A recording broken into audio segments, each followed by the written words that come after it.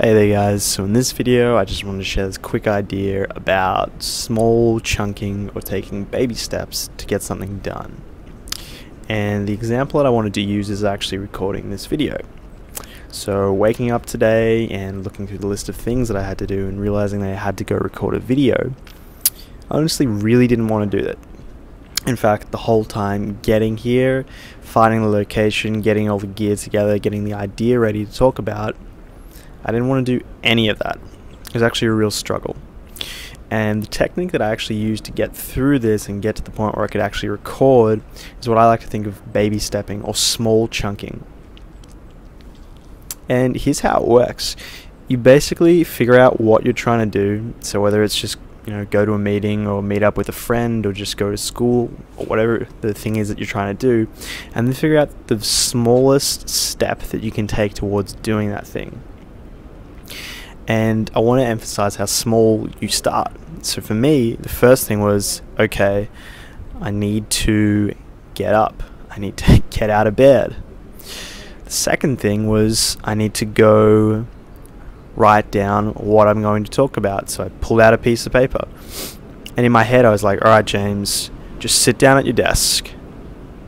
All right, we're sitting down, pull out the paper. Got the paper out, pick up the pen, put it to the paper, write something down. And the whole time I'm thinking, this is lame, the idea is probably not good, it's going to be a bad video. But I just kept on pushing myself, right, what's the next step? What's the smallest next step that I can take? And then after I got that, I'm like, alright, get all camera gear ready. I got all the camera gear. Walk out of the house, walk to the tram, get on the tram, walk to the location, set up the camera, set up the mic, put the other camera there, press play, start speaking.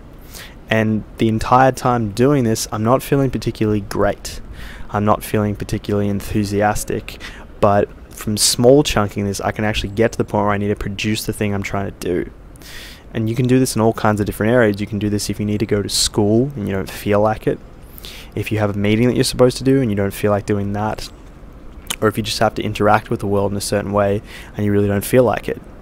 Just think what is the very smallest step that I can take towards doing that thing, and then just small chunk, baby step your way to getting there. So, what's something you can do right now to get the benefits out of this? Think of something that seems pretty difficult for you in your life that's difficult. Maybe it's dealing with social anxiety or generalized anxiety or depression, when you're in those kind of states and there's something you have to do, just small chunk, small step. If you're feeling depressed, just go outside. Start with I'm going to sit up. I'm going to get out of bed. I'm going to walk to the door. I'm going to open the door. I'm going to go outside. I'm going to walk. Just start as small as you can if it's anxiety, and this is something that I always do, if I'm feeling anxious, I'm like, alright, just take one more step. Just take one more breath. Focusing on things that small has been really, really helpful for me. And I've found that if you think of it in terms of really small steps, and just continue on those small steps, you'll get to the thing you're trying to get done. You'll produce that piece of art you'll do that meeting, you'll talk to that person, whatever it is that you're trying to get done, you'll be able to do it if you just take baby steps. And this is especially helpful if you're feeling depressed or anxious or you have social anxiety or there's just all this junk going up in your head. That's what's helped me. I hope that helps you as well. This is James from Mind Unlimited, and I'll catch you next time.